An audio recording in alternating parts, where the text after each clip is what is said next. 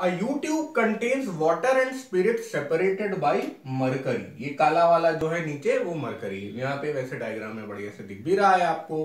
The mercury column in the two arms are in the level 10 centimetre of water in one arm and the 12.5 centimetre of spirit on the other ये वाला जो dot वाला है, ये spirit है।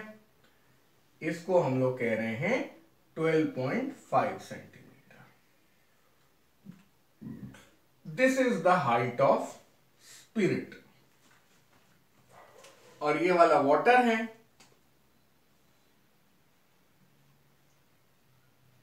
This is the height of water 10 centimetre ऐसा हम लोग को दिया गया। ठीक है? अब हमसे बोला गया है calculate the relative density of spirit तो ये याद रखिए, यहाँ पे जो दो पॉइंट्स हैं, एक पॉइंट है ए और एक पॉइंट है बी ये सेम लेवल पे हैं, ये आपको डायग्राम में क्लियरली बता दिया गया है। मतलब डायग्राम उस तरह अच्छे से बनाया गया है कि वो समझ लें आप कि एक लेवल पे हैं। अब, जब ए और बी सेम लेवल पे हैं तो हम लोग क्या कह सकते हैं? Pressure at A is same as pressure at B अब प्रेशर एट ए क्या है? मैं यहाँ पे एटमॉस्फेरिक प्रेशर भी कंसिडर करूँगा। हमेशा आपको एटमॉस्फेरिक प्रेशर कंसिडर करना चाहिए।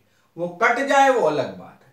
तो प्रेशर एट ए क्या होगा? इधर का एटमॉस्फेरिक प्रेशर और इतनी डेप्थ की वजह से, इतनी वाटर डेप्थ की वजह से एक्स्ट्रा प्रेशर तो वो क्या आ जाएगा? रो जी एच एच कौन सा? एच वाटर जी तो वही लगेगा, रो क्या है? डेंसिटी ऑफ़ वाटर उसी तरह pressure at B atmospheric pressure यहाँ पे, और इतनी डेप्थ ऑफ़ स्पिरिट की वजह से एक्स्ट्रा एक्स्ट्रा प्रेशर तो एक्स्ट्रा प्रेशर जो है ड्यू टू स्पिरिट डेप्थ वो रो जी एच ऐसा आ जाएगा. एस एस का मतलब स्पिरिट डब्ल्यू डब्ल्यू का मतलब वाटर और यहाँ पे फिर से पीएटीएम आ गया। बहुत सारी बुक्स क्या करती हैं? पीएटीएम को मतलब शामिल ही नहीं करती हैं। तो पीएटीएम पीएटीएम यहाँ से कट गया।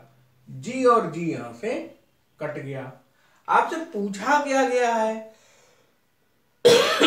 आपसे रिलेटिव डेंसिटी ऑफ़ स्पिरिट पूछा गया है। यानी कि rho S divided by rho water होना चाहिए। याद रखिए रिलेटिव डेंसिटी की डेफिनेशन ही यही होती है कि भाई खुद की डेंसिटी डिवाइडेड बाय वाटर की डेंसिटी तो वाटर की डेंसिटी हमने नीचे रखना है। है ना? अगर हमने रो एस नीचे रख दिया रो डब्ल्यू ऊपर कर दिया तो वो रिलेटिव डेंसिटी ऑफ़ स्पिरिट नहीं होगी। वो उसका इनवर्स होगा, वो गलत हो जाएगा फिर। अच्छा अब एच डब्ल्यू यहाँ पे है। बस कुछ खास करना नहीं था, बिल्कुल ऑब्जेक्टिव टाइप सवाल था ये। एनसीआरटी का सवाल है ये।